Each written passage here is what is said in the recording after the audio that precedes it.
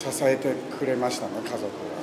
彼女の方がこう文法とか勉強した子なんでパッと教えてくれたりしてました。こんなに喋れないかなって思いますよ。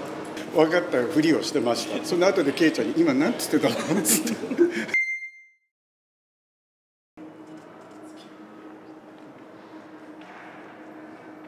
僕が26年前に子供が生まれてたとしてその子供ができてるぐらいの年ですからね今、うん、26歳で僕も47なので、ね、そう考えると本当感慨深いですけれども、はい、いやできないと思いましたよ。だって言語違うから、うん、もちろんあの昔は日本語でやりましたけれども今回はねこういった方々とやっぱり言語をこう僕がそっち側にこう寄せるわけじゃないけども、まあ、そういう今回のレントなので、まあ、すごくチャレンジングな、うん、今回ではありました。もちろんもちろんもちろん。もうまあ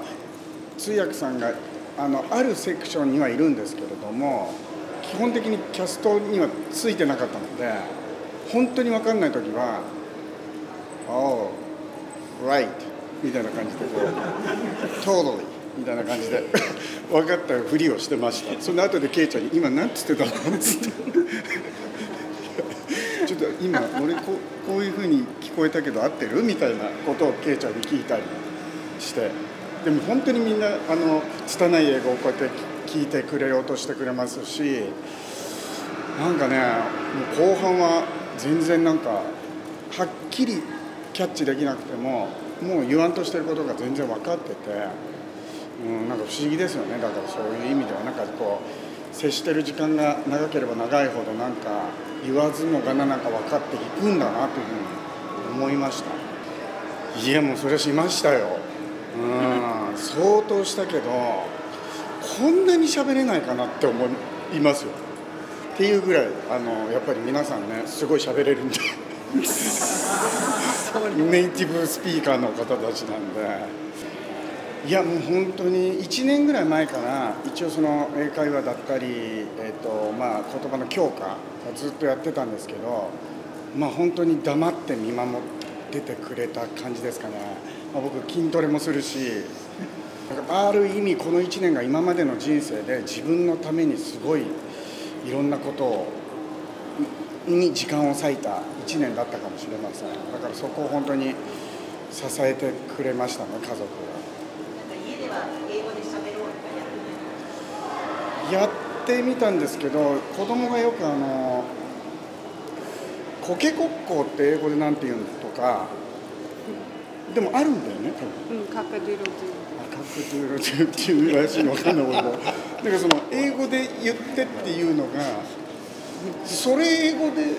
知りたいみたいなのをこう聞いてくるから。だからちょっと僕も勉強できたようなできてないようなでもなんかあ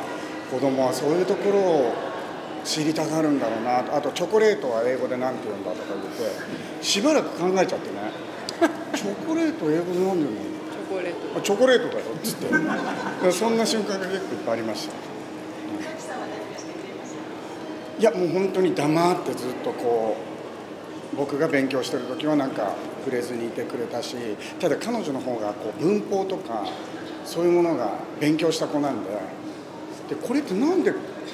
これには S がつあの例えば複数形に S がついてるのにこっちはつかないんだとか言うと多分数えられるものと数えられないものなんじゃないみたいな、あなるほどみたいな。そんなの教えてパッと教えてくれたりしてました、はい、英語で？英語でですか？We begin on Christmas Eve これぐらいでじゃあ。ありがとう。え今今ではもう始まりの